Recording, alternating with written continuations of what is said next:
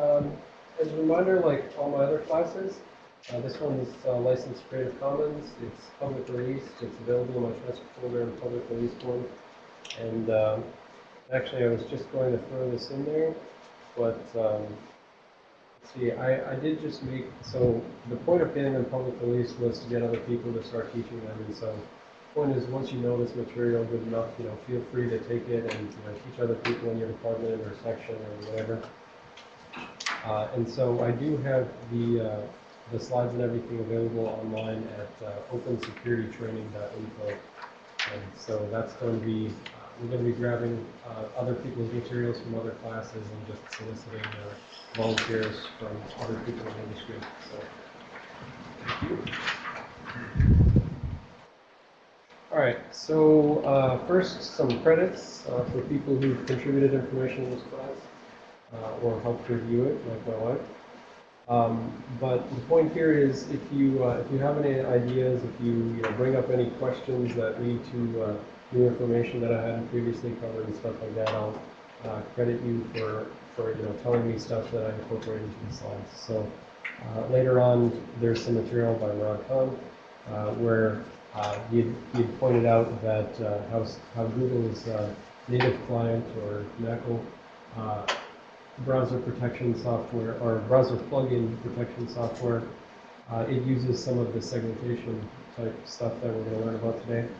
And then uh, Christine Jones, just in the intermediate class this year down in McLean, uh, she pointed out uh, some good information about how the global descriptor table, which we'll learn about later, how that works on Linux, and that sort of uh, brought up a good point about how it probably works on Windows as well. I haven't got around to confirming it yet, but uh, when I get there, I'll point this out. I haven't uh, put that in the slides yet. So, uh, at the beginning, as usual, we're going to uh, go around the room introduce ourselves. It's less for me because I know most of the people who've taken the classes. It's more for introducing yourselves to the other students. Obviously, if you're all in the same class, you all have some common interest in this. So, uh, probably good to know who else has common interest throughout the company.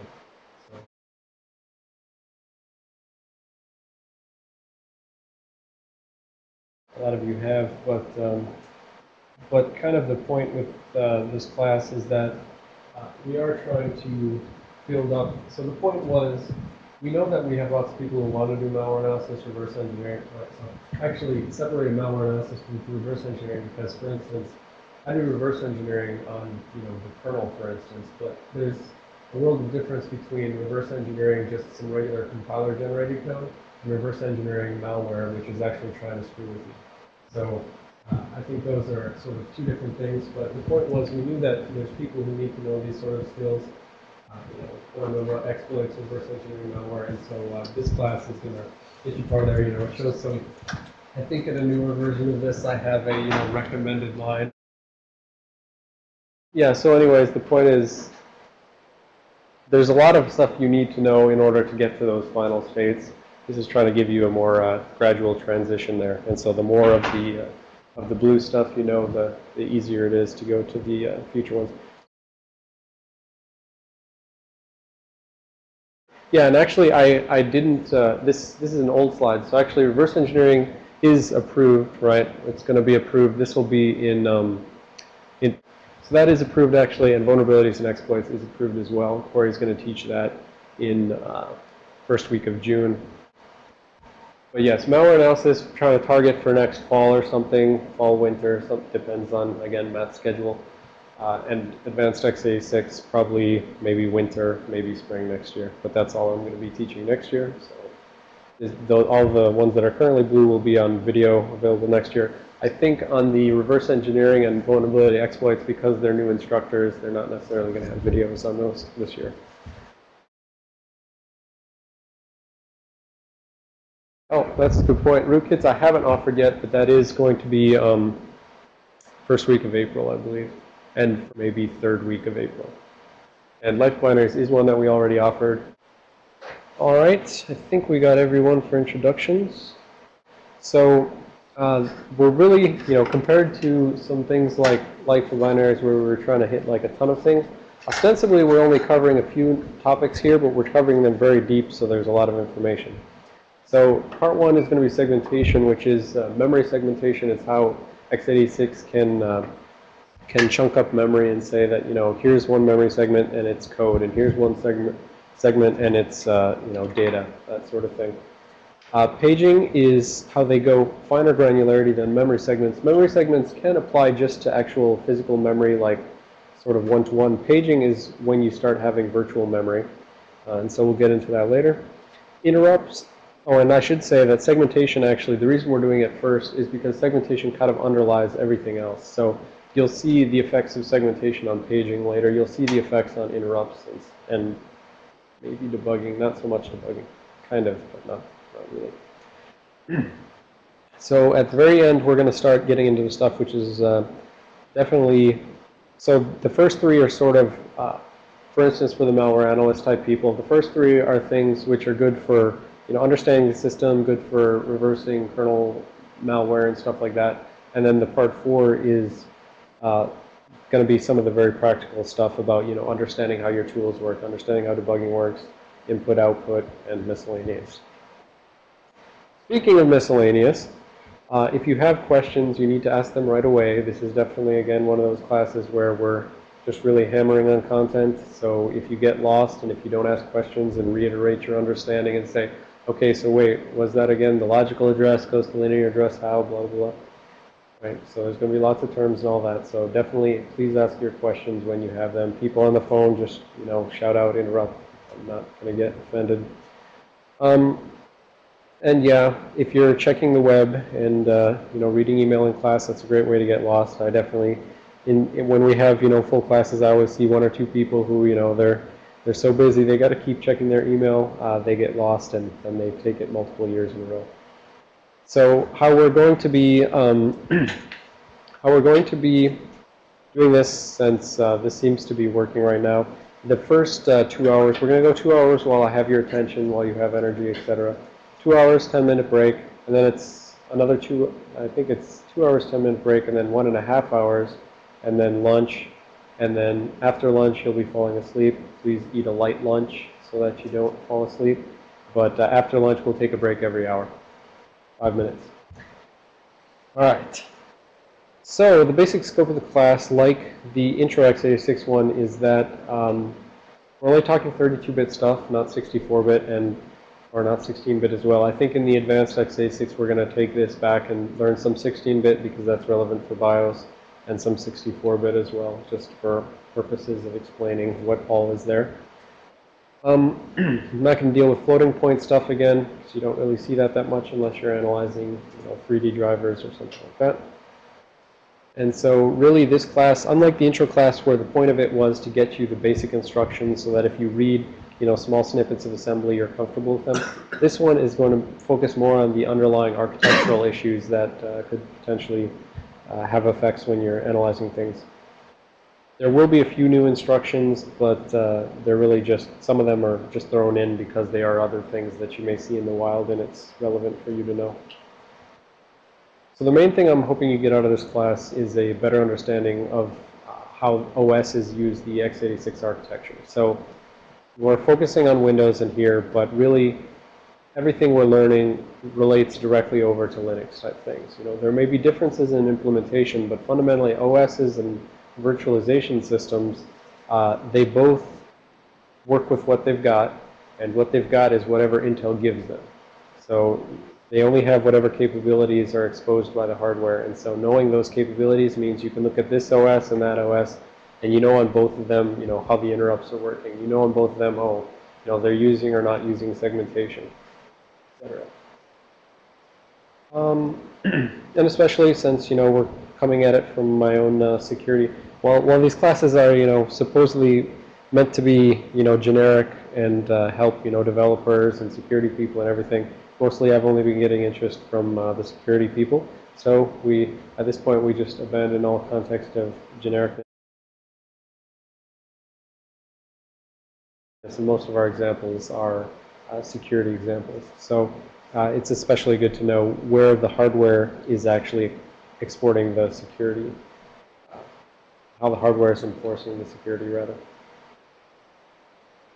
And yeah, just to uh, get you curious and want to keep digging in more for whatever uh, I don't really cover to your satisfaction.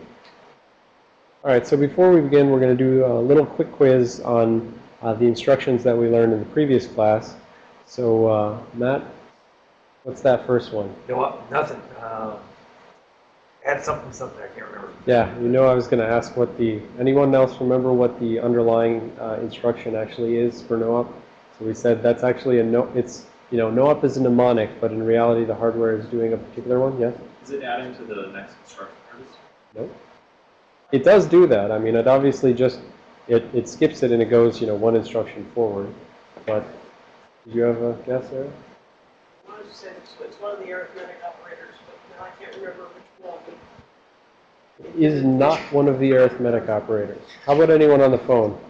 Except for, oh, there we go. Jessica, nope, Jessica's wrong. Uh, anyone else? Have, uh, remember what the underlying thing with NOOP is? Remember, the only reason we covered it is because generally people who know x86 have never looked up the manual page for NOOP and they don't know this little bit of trivia. Isn't it So, you know, exchange EAX EX?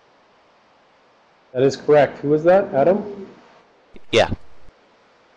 All right, good. Yes, it's exchange EAX EAX. So take a register and you exchange it in the other register, which is itself, and therefore it does nothing. All right, good job. How about... All right, push pop.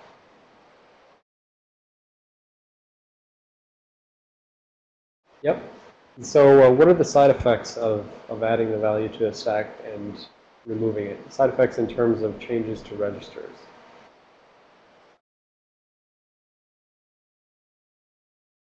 Yep, so remember that uh, the stack grows towards low addresses, so on pushes, you're putting something on the stack, you're moving the ESP lower, so it's decremented. And when you pop something off the stack, you're taking it back off, the stack is getting smaller, but it goes towards positive addresses, and so it's incremented. All right, uh, call and return. You uh, resetting the EBP to the appropriate place and then jumping into the right code. Not quite. You're thinking definitely of the exit sequence, but that exit sequence is typically uh, multiple instructions or uh, some other instruction which is on the slide. But uh, no. Or can you find the other instruction which is uh, the thing which actually replaces, uh, restores the E EBP?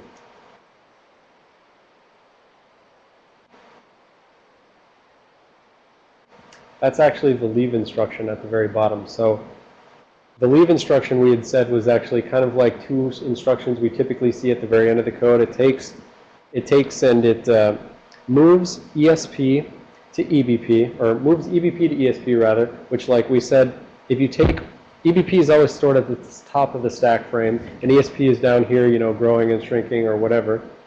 And we said, if you take ESP and you put in the address of EBP, you're setting ESP back up here, and it basically is wiping out all of your local variables. You're setting it back to the very beginning of the stack frame. And then it also does pop EBP, which says, you know, the stack frame is usually pointing at a saved EBP for the previous stack frame, because they're that sort of linked list of stack frames.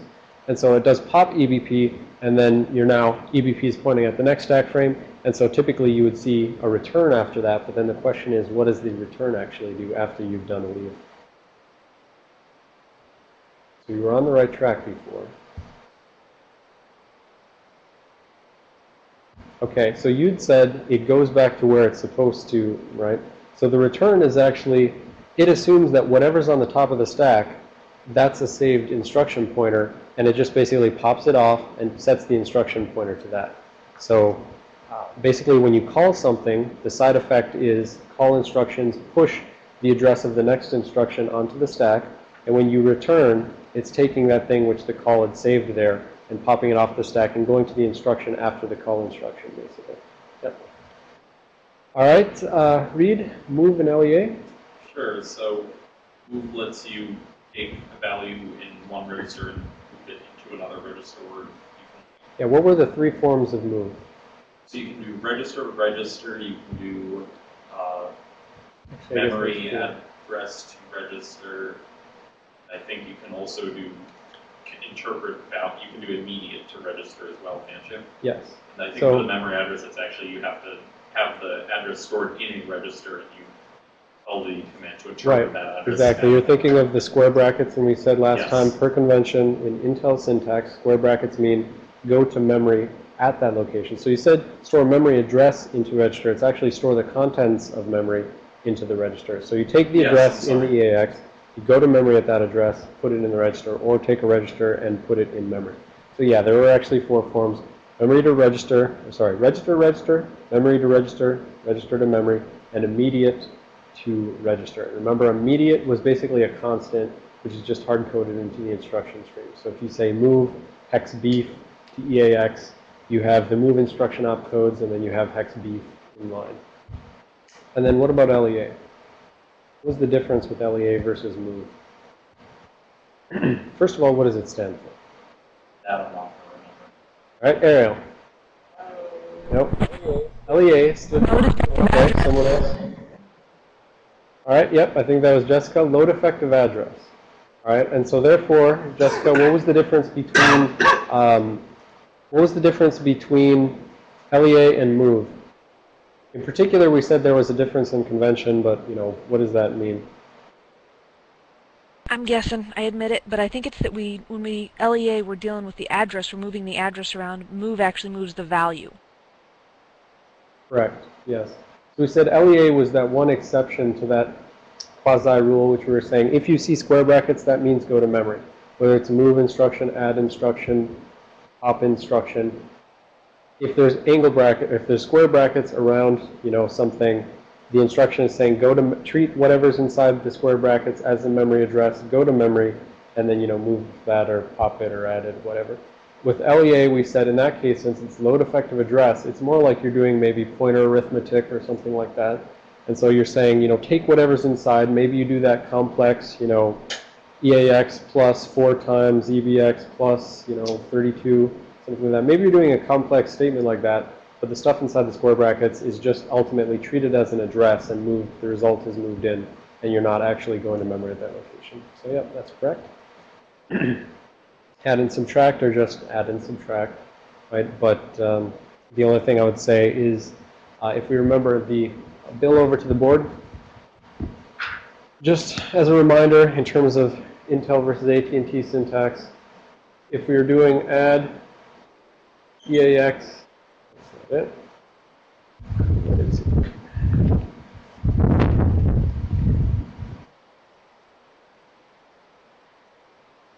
EBX, you know, how do we interpret this? What's going where? It's actually EAX equals EAX plus EBX, right? And it's actually the exact opposite of that on AT&T syntax, but we'll not worry about that.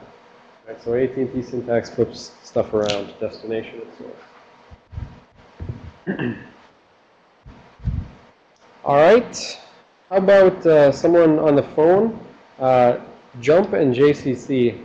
What do those do? So first, jump. All right. Corey is saying jump changes EIP to the specified address after the uh, jump. So what are the different forms of jump, Corey? We didn't actually learn this in last class, but we'll see.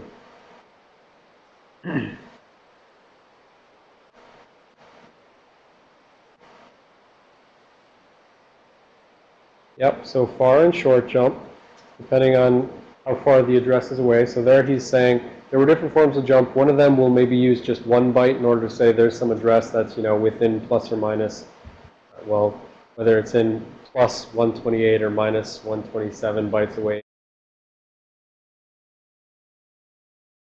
It can jump, it's, I would say those are jump relative things. So there's jump relative things which say wherever I am currently, take the next address and add or subtract however many bytes, and that can be a one, one byte uh, offset, or it can be a four byte. So that would be far or short. Uh, what else? Yep, you can do an absolute jump. So that's saying, you know, I'm just specifying, here's the exact address I want to go to right now. and Corey is saying one more thing.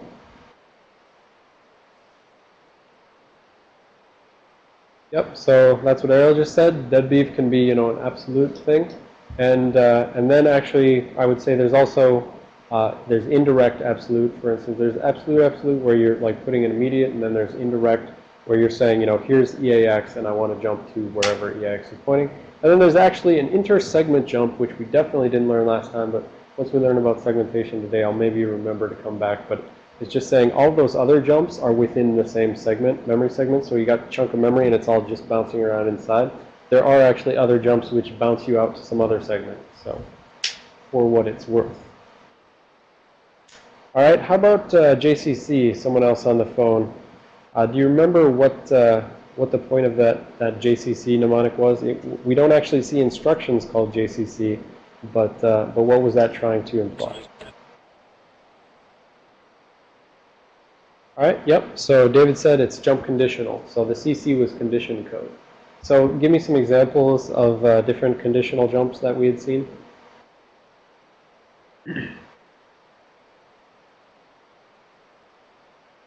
Yep, JNE. That was jump if not equal to, right? That was also called JNZ. So the issue with those conditional ones is they have typically like two names. So you can say jump if not equal, or you can say jump if not zero, because it turns out equality is just uh, measured with the zero flag. So in that E flags register, we said there's a bunch of different little one-bit fields which get set automatically on every single instruction. If they modify E flags, they're always going to set those. And so jump not zero, jump not equal, it's really up to you to determine whether, which makes more sense to you. Same thing with, you know, you can say something is jump less than, or you can say jump not greater than or equal to, right? So there's a whole, there's like, whatever, four pages worth of jumps if you ever want to look it up. I usually try not to uh, care about the what condition flags are set. I just use some simple ones like not zero. And if, if it's anything more non-obvious than that, like jump below or equal, or I'm trying to remember what is below versus less than, because one's signed one's unsigned, I usually just go consult the manual or just step over the instruction and see where it went and say, oh, okay, that's what it was checking. All right, uh, compare and test. Who else do we have that took the last class? Not seeing anyone else, but does anyone know on the phone what the compare and test instructions are equivalent to? Uh, we said that in reality they were like, compare is like one instruction, but it throws the result away and just sets the flags. Test is like another instruction, and it just throws the result away and sets the flags. All right, so we got Adam buzzing in. Handily consulting his manual out of sight. Yes, compare instruction is like sub instruction. So it's like a subtract. It takes, you know, the, you know, if, it, if that add was EAX, EBX, we had sub, or sorry, if we had uh, compare EAX, EBX, we would take EAX minus EBX, and then we would just set the flags based on that. So it's like if they were both the same thing, right, it would be A minus A equals 0. So you know the 0 flag would be set or something like that, right? So compare is just a sub. What about uh, the test instruction? Anyone remember what that is? How about anyone in the room?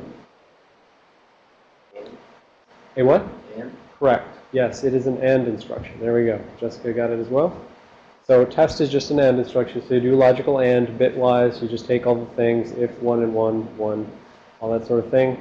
If you had 0 and 0, then you would have, or 0 and anything, you're going to have 0 result, 0 flag would be set, etc. All right, good. Getting everything, and or, XOR not. We'll just, you know, those are just your standard logical operations. What about this eight- SHR, SHL, SAR, SAL? Yeah, Eric. Those are the bit shifts. Yep. Um, And I believe that the SHR and SHL move the bits and, and apply zeros. The other one rotates and Not quite, but close, yes. So she said, yeah, correct, these are the shift operations, and they're bit shifts where you're taking, you know, some bits and you're moving them left or you're moving them right. And then there was this difference between logical shifts and arithmetic shifts. Uh, Bill, can we go over to the board? So she was close. It wasn't quite a rotate where you would assume one bit falls off one side and pops around to the other side. It's close. Well, it's not. It's not quite like that. So how it works is, let's say I have uh, EAX equals you know 12 or something like that. So that'd be 8400, right? So that's 12. I'm just going to pretend on a 4-bit thing here. If I was going to do a, uh, if I took that and I did shift, let's see, let's do left, uh, you know, 2, the 2 specifies how many bits to shift. The L for left shifts that way. And so in this case, I basically take each of these bits and move them left by 2. So this would, it, you pretend it's doing it like one at a time. And so it would go 0, 0, 0, 1, and then it would go 0, 0, 0, 0. And, uh, and here you can see that essentially when we're shifting everything over, each time we fill the least significant bit in with 0. Now this is actually the case always for left shifts. Whether it's logical or arithmetic, that's sort of the, uh, the redundancy, I don't know how you want to say it, but there's two instructions for it, but in reality, they're, they're both doing the same thing here. Any left shift, whether shift arithmetic left or shift logical left, it goes that way. The issue is when you're shifting right. This is where the difference between logical and arithmetic is. So if I have 1100 and I do a shift logical uh, right by, say, two bits, what I would expect is it would go 0, 1, 1, 0, and then 0, 0, 1, 1. Right? So this basically fills in, again, 0 is at the most significant bit. Now that's fine when you're dealing with unsigned numbers, but if we recall with signed numbers, the, the way that we break up the memory space is that there's always a 1 in the most significant bit of signed numbers. And so therefore, if you're doing this, and if this is, you know, not actually positive 12, but this is in reality, whatever it is, negative, thinking negative 3, negative 4. No, no, no. One, zero, one, two, Negative 3. All right, so if this were actually negative 3, and you're shifting uh, right by one bit, which we know that shifting right is sort of like dividing by 2, shifting left is sort of like multiplying by 2 for every bit that you're moving one way or the other. You don't want it to be the case that when you, uh, when you're, is that right? Don't you convert and add one? Yeah. Or two stop? You're right, you're adding 1. But that was, let's see, oh, that's negative 1, there we go, it was negative All 4. right. Yeah, I was like, that doesn't work. Yeah, that was negative 1, that was negative 2, that was negative 3, negative 4. So, sorry, this is negative 4.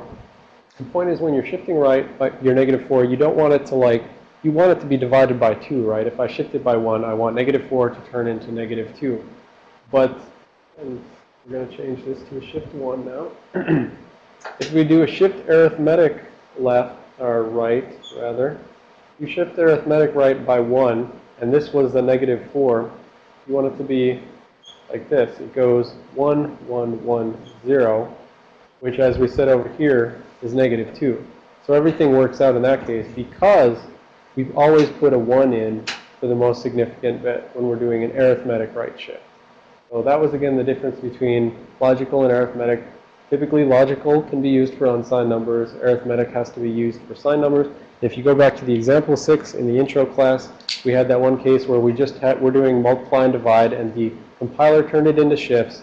But if you change the variables from unsigned to signed, all of a sudden you get much more complex things that deal with uh, arithmetic. So does it actually always put the one in, or does it put in whatever the most significant? Yes, sorry, yes, Okay. that was, uh, I misexplained that. In reality, it always puts in whatever, at the time of the shift, whatever the most significant bit was, it always puts that in. So if this were some positive number like, you know, 0, 1, 1, 1, right, you don't want it like automatically adding a 1 because then it just completely changes it, right? So in this case, it would go 0, 0, 1, 1, and everything would still work out in positive land. Yes, thank you. All right, so that was the shifts. Uh, how about imul and div? Uh, does anyone remember uh, what was going on with those, what they are, and maybe a little bit about why we saw imul but not mul? And yes, as William said, uh, for those shifts, one you always use for, for sign. Anyone on the phone remember uh, imul versus div? I mean, should be obvious basically what they are. Anyone shout out what you think they are? Yes? What's imul? Multiply. Yes. What kind of multiply? That's what you're not remembering. Signed multiply? Yeah, one sign for, to, Yes. I believe it is a signed multiply, but even I'm forgetting that. So there you go. Uh, so if that's a signed multiply, then uh, the div is an unsigned divide. The issue we had in the intro class was that uh, for, well, it's not for whatever reason. We eventually found the reason. Someone found the reason, and I forget that as well. Uh, Visual Studio very much prefers the imul over the mul, so it always wants to use that, I believe is signed multiply. But we can check quick because we still have the intro x86 slides on the desktop, right? There we go. Oh, maybe we don't. We don't have the slides. We just have the code. So let's look at the manual. RTFM, yo. Do, do, do. I mul. Yes, signed multiply. There we go. For whatever reason, Visual Studio loves the, uh, the multiply, and if we had our intro slides, we would know why, but I don't recall moment. All right, and then finally, uh, repstos and repmove. Um, well, I think the reason we saw it in, in last class was imul is a very special little instruction because it's like the only x86 instruction that has, or is that, yeah, the only x86 instruction that takes like three arguments for whatever reason. You have a three argument form. So let's see here. Take your destination is a 32, is a register. You got a 32-bit register. You've got an r/m32, which we said in the previous class can be that complex expression with the square brackets where it's, you know, e, it's base plus uh, scale times, index times scale plus displacement, right? So that can be specifying some sort of memory address, but then you can also be adding in another immediate 32 in here. So uh, the reason we saw it was because of that type of instruction. As for what it does uh, that a mul doesn't do, I don't remember again. Sorry. I'd have to go check the slides. I'll check them at break, and I'll come back with an answer to that. All right, so repstos and repmoves. Anyone here remember what the repstos did? So towards the end. It was one of the last instructions.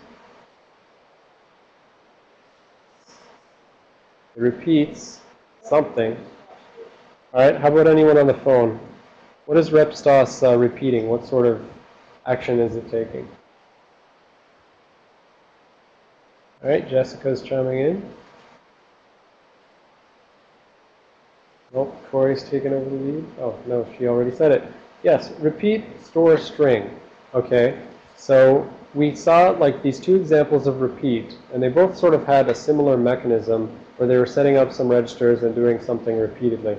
So Jessica, do you remember uh, what registers uh, repstos was setting? And, uh, and that essentially tells you, you know, what sort of storing it's doing?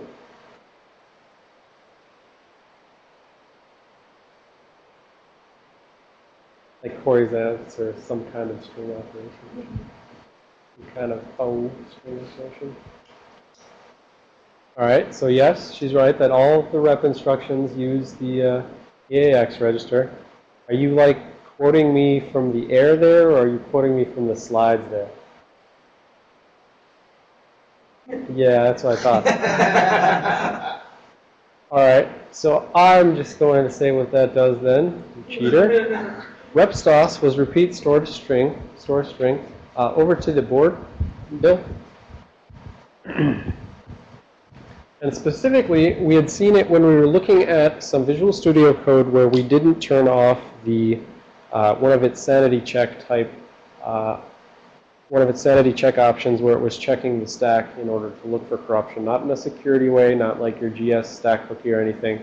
It was just trying to sanity check that there was nothing corrupt on the stack. Uh, and so repstos,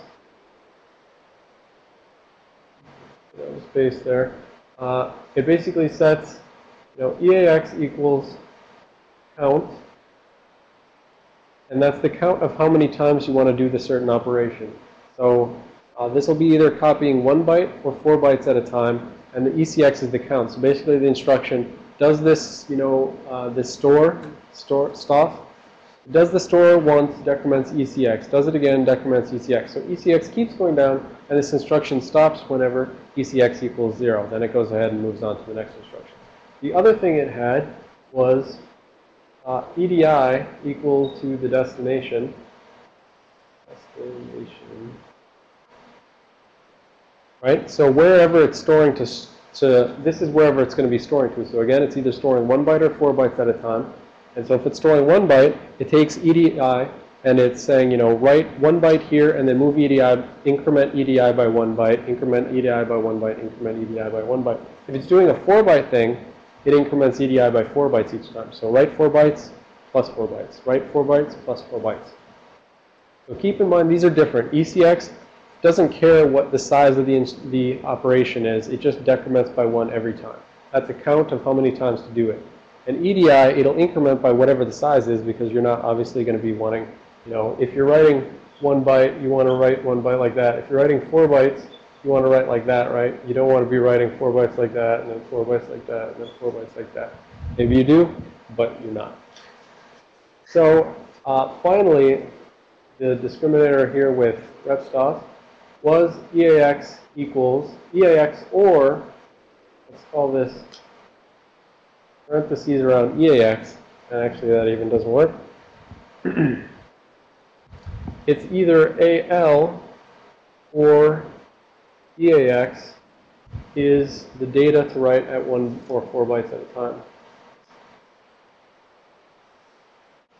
So his question was, are those set up in previous instructions? And yes, anytime you see a repstos, you expect like pretty much immediately preceding them, there's going to be some move something to ECX. There's going to be some move something to EDI, move something to EAX or, or they'll maybe move it to EAX, but it'll only be actually using the AL part of it, the lower.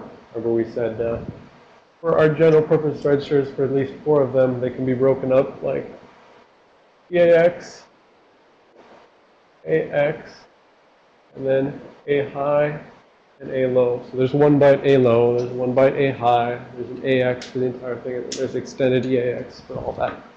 All right, so those get set up the immediately before the instruction, and then you say, go ahead, repstos, go. And in reality, this repstos is going to look more like, you know, repstos DS, which you don't know yet, but that's a segment uh, register, DS, EDI, or something like that.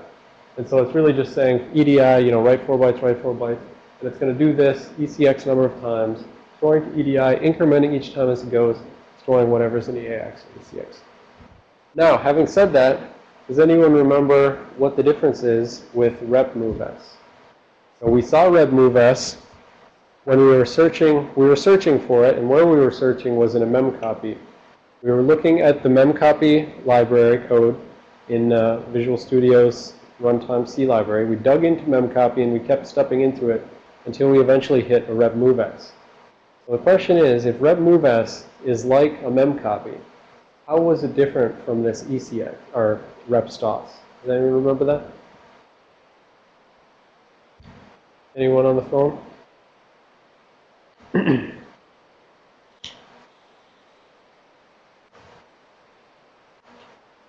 Or he's taking a shot?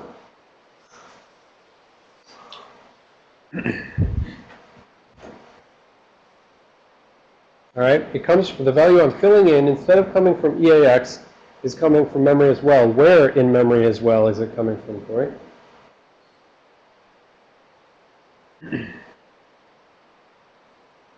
ESI, that's correct. So, in rep move s,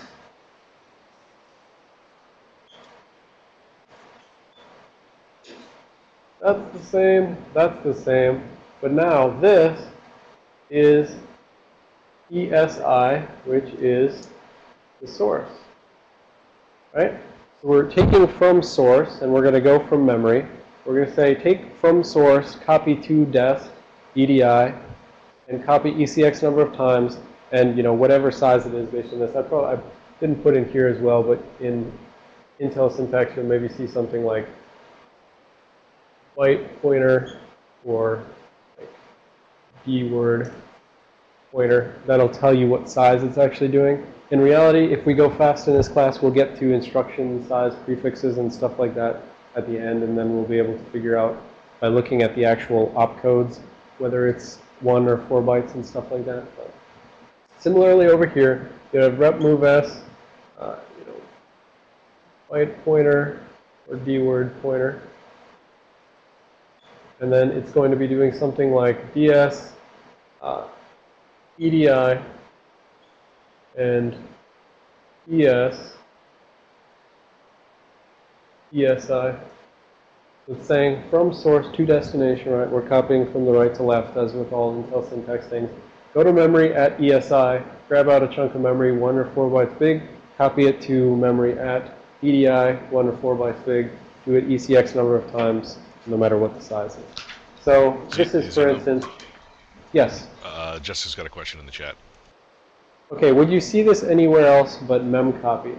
Um, you would, potentially, I mean, if you're writing your own mem copy, you would do this. If you go back to the Life of Binaries class, when I was writing the virus example, uh, I used a rep move in order to copy the virus into uh, the memory space of like some buffer which gets written. So the, the virus copies itself, so it points at its own code, copies its own code out to uh, the buffer which gets written to the end of appended to the infected file. Um, generally speaking, I would say that memcopy type places are the most you're going to really see this other than uh, inline assembly that people are writing. That's my own impression. I don't know if that's, I can't back that up with any numbers. So, but yeah, basically, that's where I would expect it to see the most. And then Mike, did you have a question or comment? Looks like, maybe. All right, well, he's typing. I'm going to finish this off. And then leave instruction we said before. Leave was really those two instructions combined. Move EBP to ESP, pop EBP. Yes, questions? So in the example up there on the rep store S, AL would indicate a one byte move. Yes, On exactly. the other instruction, how would you indicate a one byte move?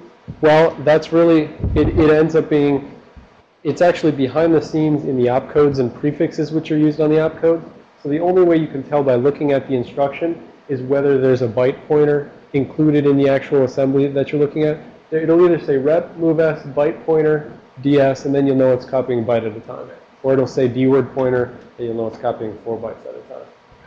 That's how, and in AT&T syntax, it's a little different. I think they may have move SD or move SB or something. Yeah, you definitely have like move SD.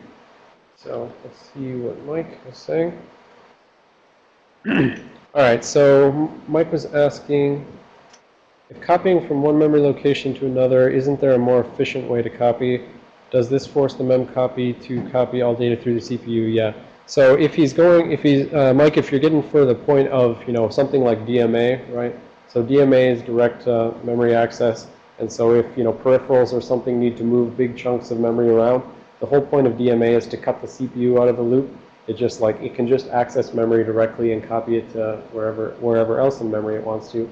But yes, in answer to his question, this does go through the CPU, right? If you're doing uh, a uh, move s, it's the CPU going out and talking to memory and say, dear memory bus, you know, give me this value and then I want to go put that in there. And give me that value and I want to go put it there. So it's definitely mediated by the CPU in this case. But if you were using something like DMA, that would not be the case. All right. That was it for our review. Any other questions on the uh, instructions that we learned in the intro class? All righty. Now, I was going to quiz you, but I, I ran